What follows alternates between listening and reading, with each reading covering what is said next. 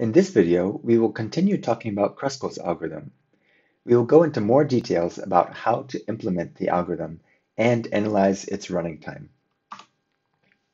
Hopefully we now have a good understanding of how and why Kruskal's algorithm works. Let's talk more about how to implement it. In every round of Kruskal's algorithm, we do the same thing. So the main work is to see how to implement a single round. On this slide, we again have the high-level description of what we do in the ith round. In the ith round, we consider the ith lightest edge. If this edge has both endpoints in the same set of our partition, then we do nothing. Otherwise, if the edge has its endpoints in distinct sets of the partition, then we add the edge to our set of edges A, and we merge the sets of the partition containing its endpoints. Okay, so let's try to break down what we need to do to implement this into simpler tasks. The first thing that we have to do is we have to find the ith lightest edge. We're going to be processing the ith lightest edge, so we need to know what it is. The next thing that we have to do is determine if the endpoints of this edge are in the same set of the partition. We have to do this because this will determine what action we take on the edge. Finally, we want to be able to merge two sets in the partition. We will need to do this if the endpoints of the edge are in different sets of the partition. Okay, so now we've broken down the work that we have to do in a round into these three simpler tasks. So let's consider the first task we have to identify the ith lightest edge. How can we do that? Well, we can just sort the edges by weight from smallest to largest, and then we can iterate over the edges in order of weight. So in the ith round, we know exactly what the ith lightest edge is.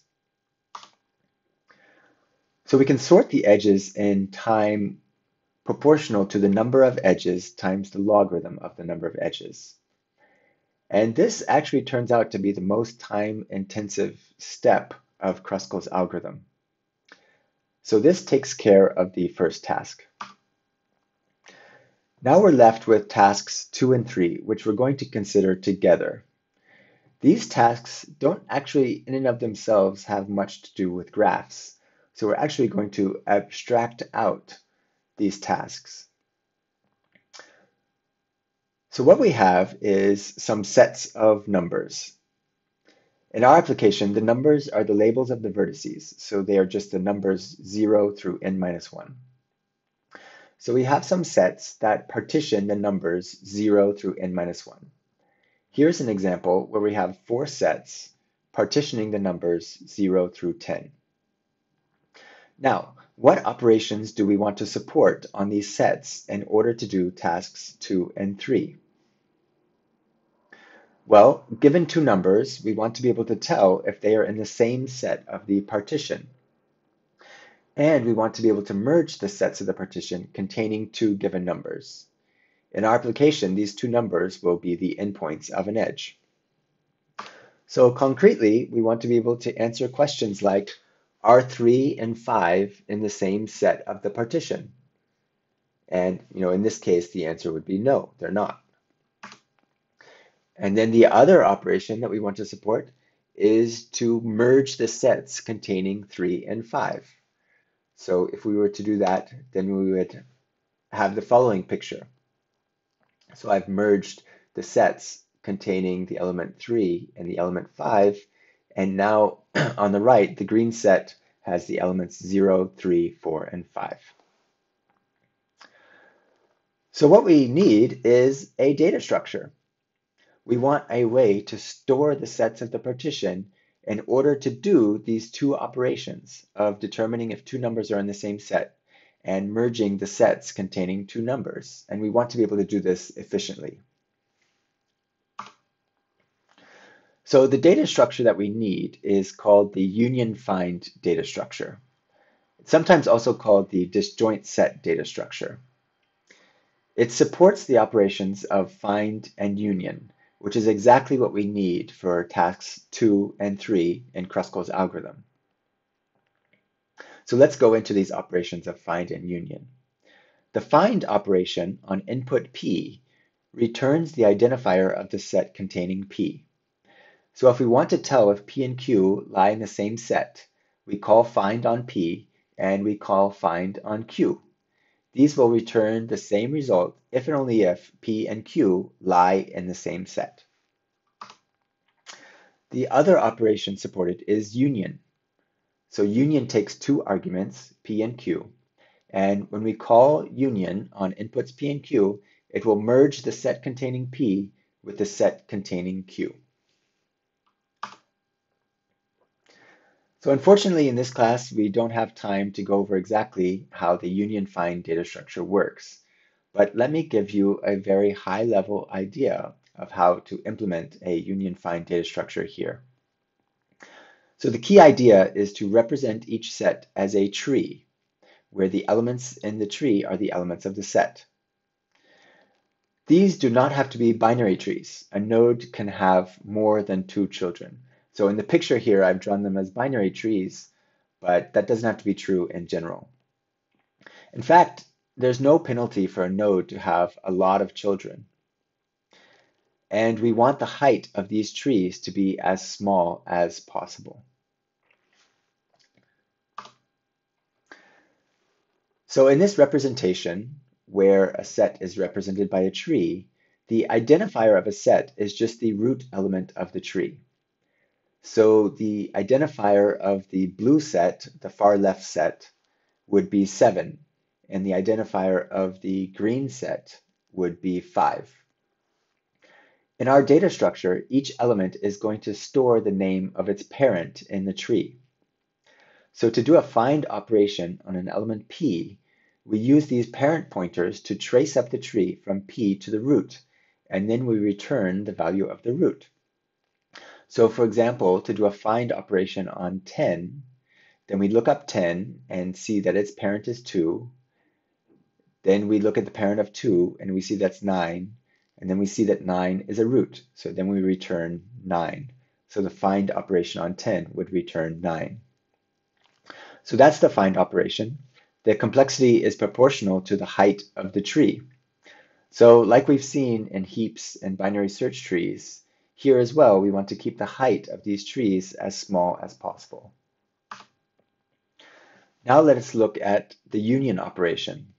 Say that we want to do a union of 4 and 2. So the first thing that we do is we do a find on 4 and a find on 2. So this tells us the root elements of their respective trees. In this case, the root of the tree containing 4 is 5, and the root of the tree containing 2 is 9.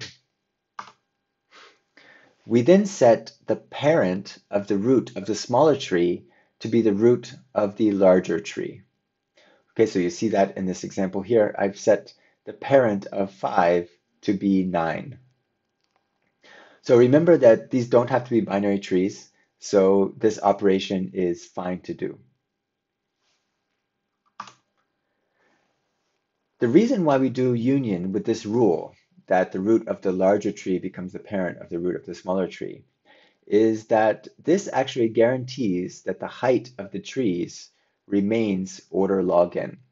And remember, it's good for us to have the height of the trees be small because that determines the complexity of our operations.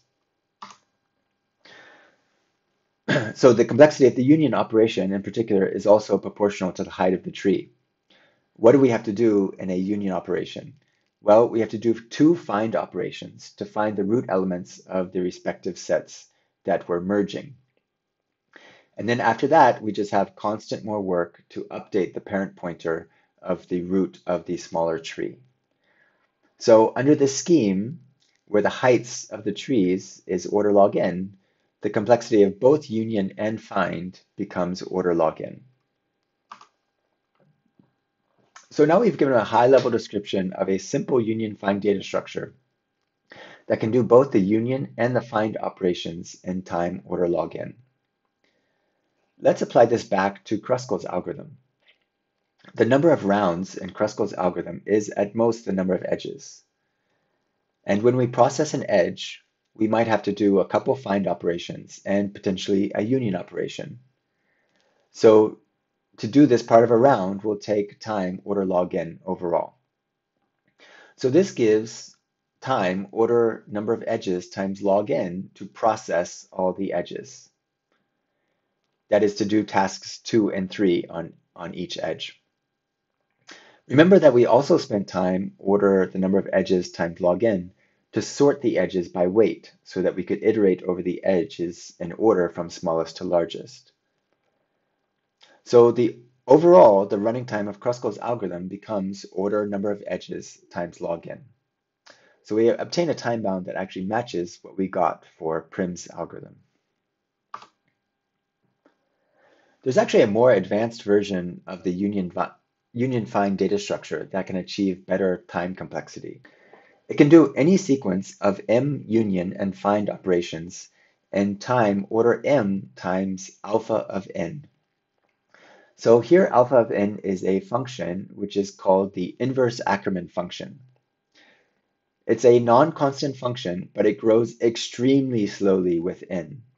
So for example, alpha of 2 to the power 2 to the power 2 to the power 2 to the power 16 is at most 5. So for any number you could ever practically encounter, alpha will be at most 5. In the simple version of union find, we guaranteed that every operation took time order log n. So here the bound is slightly different. It is an amortized time bound. So we cannot guarantee that every union or find operation will take time alpha of n. Some of these might take more time, but over a sequence of m operations, the average time per union or find is alpha of n. Or in other words, the total time we spend to do a sequence of m union and find operations is time order m times alpha of n. So this amortized time bound, it's like the same thing we saw when pushing back to a vector. Pushing back to a vector is not always a constant time operation because sometimes we run out of capacity in the vector and we have to allocate more memory. But the total time to do m pushback operations is always order m. So we say pushback has constant amortized time complexity. So this more advanced union find data structure shows that the bottleneck in Kruskal's algorithm is actually in sorting the edges. The total time spent doing tasks two and three can be bounded by order the number of edges times alpha of n. There's actually another algorithm that can achieve running time order the number of edges times alpha of n overall to compute a minimum spanning tree. So this uses a, a different approach, which is given in a paper by Chazelle called a minimum spanning tree algorithm with inverse Ackermann type complexity. So it still actually remains an open problem if computing a minimum spanning tree can be done in linear time, that is, in time just proportional to the number of edges.